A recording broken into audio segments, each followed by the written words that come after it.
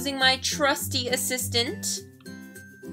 So you hold your tampon by this little groove at the base of it. So what you want to do is push the top half of the tampon, the thicker part, into your vagina until your fingers touch your skin. And then you're gonna press down with your finger on the plastic part. If you only push it in halfway, then you're not doing it right and the tampon is gonna be really uncomfortable and it's not even gonna go in. You wanna make sure that your fingers touch your skin. And the main reason why girls feel discomfort when they're putting in a tampon is because they haven't pushed it in far enough. So if you followed all of our advice by now, then you should have put it in a tampon.